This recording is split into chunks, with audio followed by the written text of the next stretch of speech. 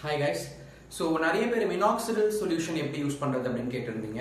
So for மென்ஸ்க்கு நான் சொல்கிறேன் minoxidil five percentage தான் அப்படின்னு ஸ்டார்டர் பேக் அதுதான் நீங்கள் வந்து ஃபஸ்ட்டு நீங்கள் ட்ரை பண்ண ஆரம்பிக்கணும். ஹேர் லாஸ் அதிகமாக இருக்குது அப்படின்னு நீங்கள் ஃபீல் பண்ணியிருந்தீங்கன்னா ஹேர் ஃபாலை கண்ட்ரோல் பண்ணுறதுக்கு ஸோ இந்த மினாக்சிடில் பார்த்தீங்க அப்படின்னு சொன்னால் இந்த மாதிரி ஸ்ப்ரே மாதிரி வரும். இல்லைனா அந்த நாசல் யூஸ் பண்ணி நம்ம எடுக்கிற மாதிரியும் வரும். ஸ்ப்ரே மாதிரி இருக்கிறதுன்றது மச் மோர் பெட்டர் ஏன் ஸ்ப்ரே மாதிரி இருக்கிறது பெட்டர்னு சொல்கிறேன்னா இன்கேஸ் நம்ம ஆஃபீஸ் லேட்டாக போகிறோமோ இல்லை லேட் நைட் வரோமோ அப்படின்னும் பொழுது ஸ்ப்ரே பண்ணுற டெக்னிக்ன்றது வந்து கொஞ்சம் குயிக்காக இருக்கும். ஒரு நாசல்லேருந்து எடுத்து அப்ளை பண்ணுறதோட ஸோ இது எப்பப்பெல்லாம் அப்ளை பண்ணணும்னா மார்னிங் நைட்டு டெய்லி நீங்கள் ரொட்டீனாக அதை ஃபாலோ பண்ணிட்டு வரணும். In between two days once நீங்கள் ஷாம்பூ அண்ட் கண்டிஷனர் வாஷ் நீங்கள் எடுத்துக்கலாம். ஒன்றும் ப்ராப்ளமும் கிடையாது.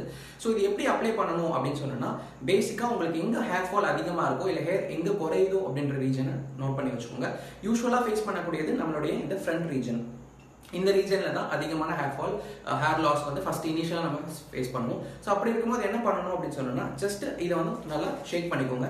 இந்த ஸ்ப்ரே பார்த்தீங்க அப்படின்னு சொன்னோம்னா நம்ம பாடி ஸ்ப்ரே மாதிரி எல்லா இடத்துலையும் ஸ்ப்ரெட் ஆகாது. இது வந்து ஒரு பர்டிகுலர் டிரெக்ஷனில் இருக்கும். ஸோ இப்போ பார்த்தீங்க அப்படின்னு சொன்னால் நான் ஒரு பம்ப் பண்ணி காட்டுறேன்.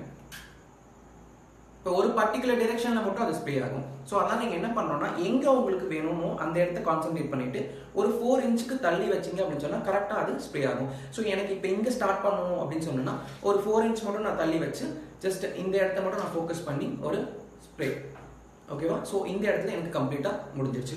ஸோ நெக்ஸ்ட் எனக்கு இந்த க்ரௌண்ட் ரீஜனில் எனக்கு குறையுது அப்படின்னும் பொழுது அதை ஒரு ஷேக் பண்ணிவிட்டு இங்கே ஒரு ஸ்ப்ரே ஸோ இந்த இடத்துல மட்டும் பட்டா போதும். ஸோ இது வந்து ஹேரில் படுறதுனால யூஸ்ஃபுல் இருக்கா அப்படின்னா கிடையாது. ஸோ இது ஸ்கேல்பில் மட்டும் தான் படணும்.